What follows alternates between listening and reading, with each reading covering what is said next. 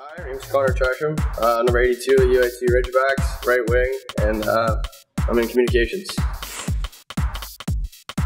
Uh, one of my best games as a hockey player. Uh, I was seven years old, and uh, I won the Hustler Award in the tournament, championship tournament game. And uh, yeah, my, I told my dad the year before I was going to win it, and I, I won it the next year. It's one of the best games ever.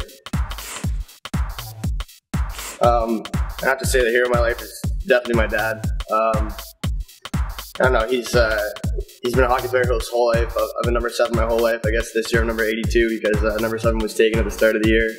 But uh, he's, he's a businessman. He uh, provides for the family. He made it in hockey. Played played hockey in Europe, and uh, showed me the way in life. And I look up to him. He's definitely to be my hero.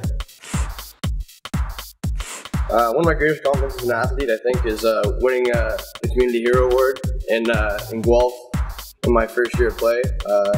Uh, I was uh, I was on the Guelph Storm and I won a won a Community Hero Award for giving back to the kids. There was a whole bunch of kids in school, and I was visiting the schools and be like the first guy off, off, on the ice and last guy off the ice when the kids were there to visit um, on the ice and stuff. So.